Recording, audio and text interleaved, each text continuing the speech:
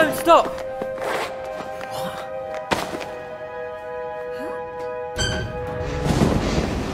Before I start, I just want to say a huge thanks to anyone, all of you, who have helped us get to 190,000 subscribers. We initially based the channel on retro gaming magazines from the 90s, and it seems that some of you like the format, so thank you so much. I was absolutely gutted when Telltale Games went under, and it's been a real pleasure to see how Annapurna Interactive have taken on the mantle for top quality narrative adventures. This one was developed then by Variable State, who have a good track record of producing really compelling stories.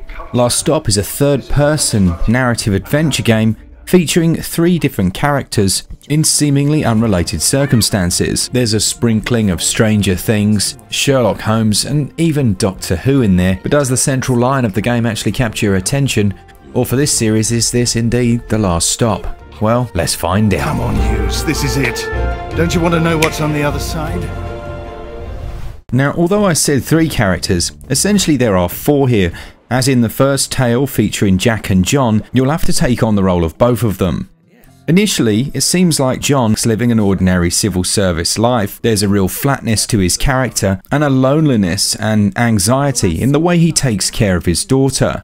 If you're a fan of the film Fight Club, which I am, I initially thought it was going to go along the same lines as Edward Norton's character, with a boss who's a complete dick. Careful, sunshine. Don't forget who's in charge around here. And with John having very little self esteem and unable or unwilling to stick up for himself. Without major spoilers, Jack and John have a moment early on in the tale that sees them inextricably drawn together. And from this point onwards, let's just say things get a little bit strange. One of my favourite aspects of the writing is how the small details are paid attention to. It stands out particularly well in a London based setting where I'd be more familiar with that than, say, an American one and the small mentions of things like a chicken dipper dinner, and some of the language that's used by the characters, it certainly feels and sounds like London. I like how the experience is broken down into chapters, and you can choose which of the three stories to take part in next and the order that you do them.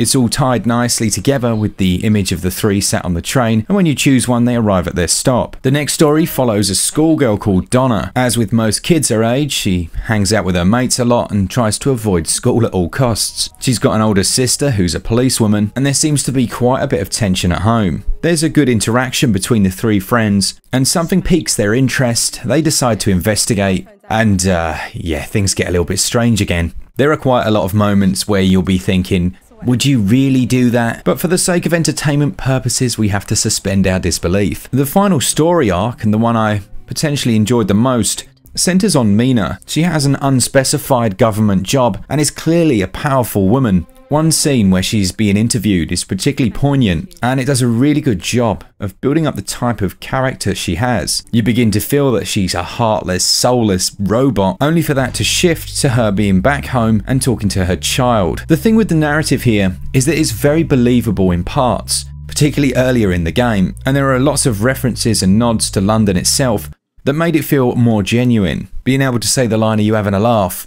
was particularly pleasurable. I did feel that the story lost a little bit of its finesse as it came to the final chapter, but the overarching tale it told was interesting enough, and fans of this style of game will have enjoyed it.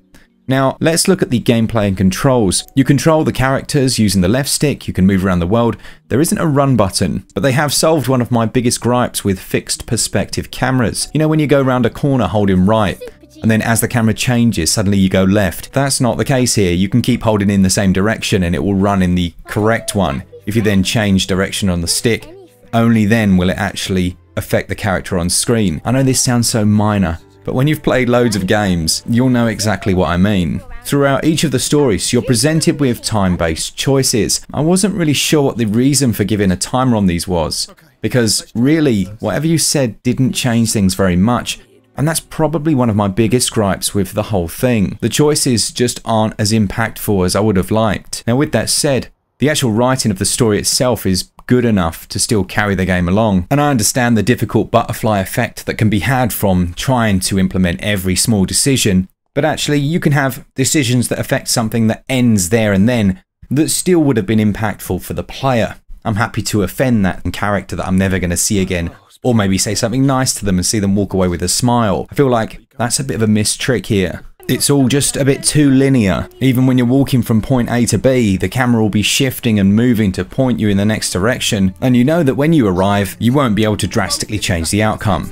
Now, there are lots of different activities that you can undertake, things like eating your cereal, throwing small canisters around the screen, just little mundane tasks that are interspersed between the narrative to mix things up. There are some quick time events in there, some button pressing, the usual fluff to feel an adventure title, but I did find a couple of irritations here as well. On one of them, I just couldn't find the last thing I had to do, and as such, I couldn't progress. You would have thought that after five minutes of me scouring the screen, there would have been some form of prompt just to th keep things ticking over, but it never came, and when I eventually found the one thing I had to throw a canister at, it was easily missed, and it wasn't very fun in the first place throwing those so having them as something you had to do felt like filler. As far as the gameplay goes, it just feels a bit clunky. I like that they try to mix in some first person segments, but those quick time events don't do much for me as a player. I'm kind of confused why they're still so prevalent in games.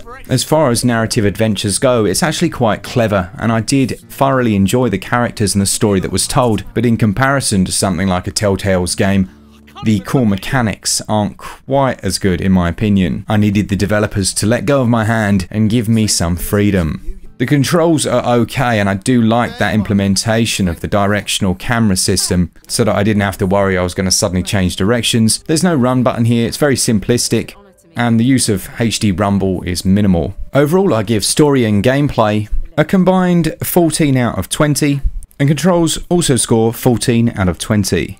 Visually Last Stop on Nintendo Switch has some very impressive features. The lighting system, for example, with the real-time shadows and soft shadows, is actually very impressive. I thought the environments were very well captured.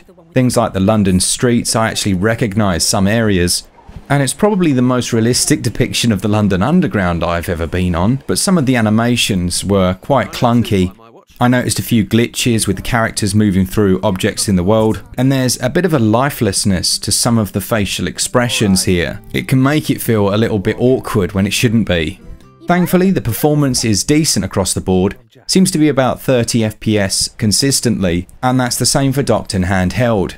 You can tell they didn't struggle too much in that department because you can screen capture in both those modes as well. They've clearly compromised in resolution though and tried to make it up by applying some quite heavy-handed anti-aliasing. While there are no jaggies here, you will notice some strange artifacts, some shimmering in shadows and other textures, and just a generally blurry visual. It's not terrible, and there are times it actually looks quite pretty, but it's not a standout for sure. Where the game does excel though is in the audio department. I thought the soundtrack was lovely.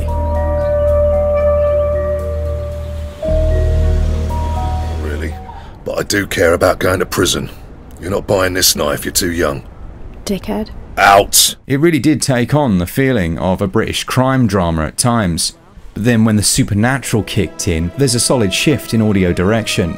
Character narration's pretty good across the board. Some of the lines aren't delivered as strong as others, but these aren't over the top voice actors. Everything's quite subtle, downplayed, and, uh, well, British, I guess. For me, I give visuals and performance 14 out of 20, and the audio scores 16 out of 20. Last Stop will set you back £19.49 or your regional equivalent. It has a reasonable size download of 5.4 gigs, and for the price it's asking, you're getting around about 6 hours of gameplay. I made the early comparison to the Walking Dead series, and well, Look, those games were £12.99 each, and I'd say that was much more appropriate for the amount of content you're getting close to £20 for six hours, and six hours that's good but potentially not great isn't on the money for me. I'd be waiting for a sale of around about 50% on this one.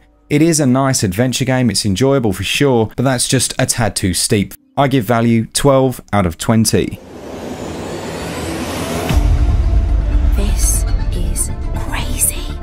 Last Stop is very much my type of game, but I also know the flaws that are there and hopefully have articulated them well enough to you. If you're a fan of adventure titles, then do eventually pick this one up because it's very enjoyable. It's just currently a little bit too expensive for me, applies too many of the genre tropes like QTEs, and wouldn't hurt from a slight resolution bump. It scores a switch up score of 70%.